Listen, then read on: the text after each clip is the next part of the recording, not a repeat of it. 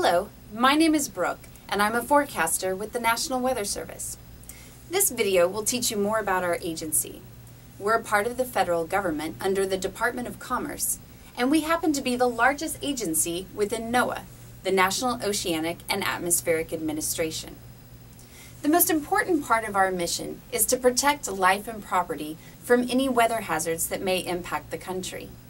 Therefore, the National Weather Service is the official voice for any warnings, watches, or advisories that are issued due to weather.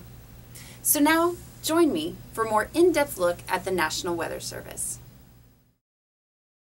There are over 120 forecast offices within the National Weather Service, including Puerto Rico, Guam, and American Samoa, all operating 24 7. Here's a zoomed in look at how the continental United States is divided up by forecast areas. Each office is responsible for the forecast, watches, warnings, and advisories within its borders. To get more insight, let's stop by the STO office, Sacramento. In every forecast office, we work with a lot of computers. This allows us to constantly monitor observations, satellite, radar, and computer models. Each forecast area is typically divided into geographical zones. In this example, the Sacramento office forecast area is divided up into 13 zones, including mountains, foothills, and the valley.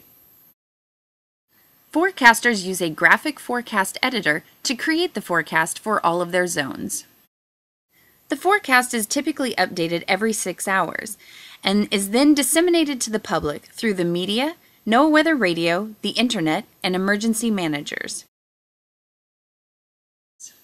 We hope this has been an informative introduction to our agency. To learn more about the National Weather Service or to check out the forecast, visit us at www.weather.gov.